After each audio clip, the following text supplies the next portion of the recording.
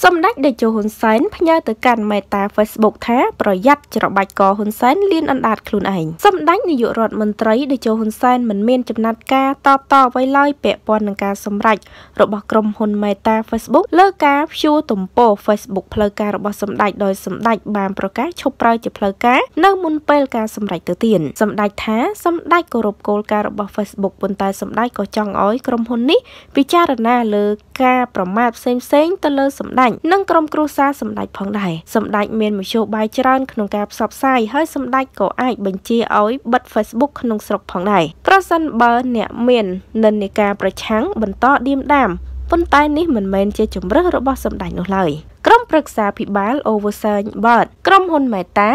កាលពីថ្ងៃទី29មិថុនាបានអំពាវនាវឲ្យព្យួរទំព័រ Facebook របស់សម្ដេចតេជោហ៊ុនសែនរយៈពេល6ខែពាក់ព័ន្ធនឹងវីដេអូមួយ ដែលត្រូវបានវាយតម្លៃថាបានរំលោភវិធាន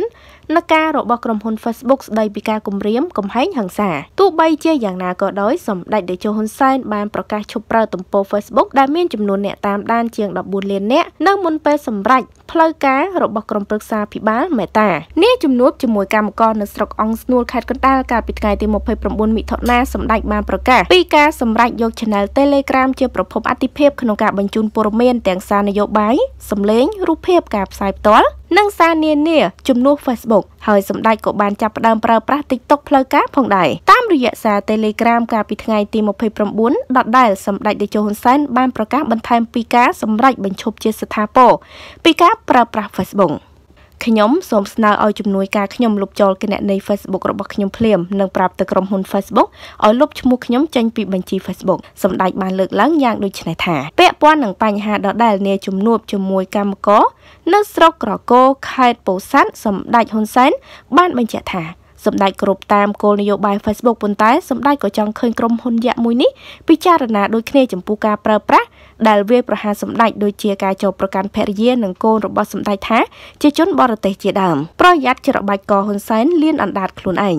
នេះជាការលើកឡើងរបស់សម្ដេចតេជោហ៊ុនសែនដោយបញ្ជាក់ថាសម្ដេចមានមធ្យោបាយជាច្រើនក្នុងការផ្សព្វផ្សាយជាពិសេស Telegram TikTok និងបណ្ដាទូរទស្សន៍នៅក្នុងស្រុកក្រោយការសម្រេចឈប់ប្រើ Facebook សម្ដេចតេជោហ៊ុនសែនដឹងថាមាននិន្នាការប្រឆាំងកំពុងតែសប្បាយរីករាយតើតើនឹងករណីនេះសម្ដេចលើកឡើងថាបើសម្ដេចបញ្ជាឲ្យបិទ Facebook នៅស្រុកខ្មែរ ពួកគេនឹងអស់មធ្យោបាយតាក់ទងគ្នាប៉ុន្តែសម្ដេចនឹងមិនប្រកាន់យកមធ្យោបាយបែបនេះឡើយសម្ដេចបានប្រកាសថាបើមានអ្នកណាបង្កើត Facebook ឈ្មោះសម្ដេចគឺជាគណនីខ្លែងខ្លាយទាំងអស់ហើយសម្ដេចបានអំពាវនាវដល់ពលរដ្ឋឲ្យនាំគ្នាទាញយកកម្មវិធី TikTok និងបណ្ដាញសង្គមផ្សេងទៀតដើម្បីជៀសវាងមានការគំរាមកំហែងនិងចេតនាណាមួយពាក់ព័ន្ធនឹងការប្រើប្រាស់ Facebook នាថ្ងៃក្រោយ។